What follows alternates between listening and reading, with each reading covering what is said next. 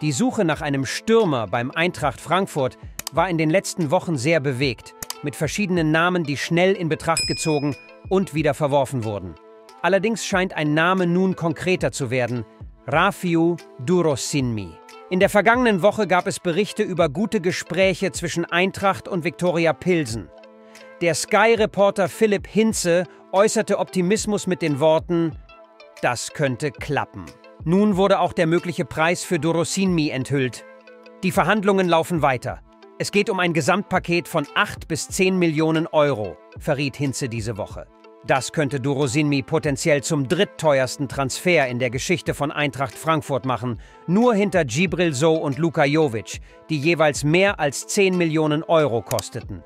In der laufenden Saison hat Dorosinmi bereits neun Tore und sechs Vorlagen in 19 Pflichtspielen für Pilsen erzielt.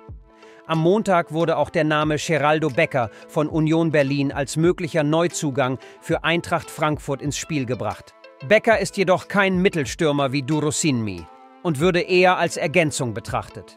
Die Priorität scheint auf der Verpflichtung eines kraftvolleren Stürmers zu liegen. Und Durosinmi scheint der Favorit für diese Position zu sein.